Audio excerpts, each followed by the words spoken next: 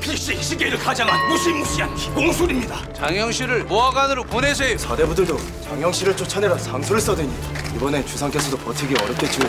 장영 씨, 내가 자네를 황제에게 데려가.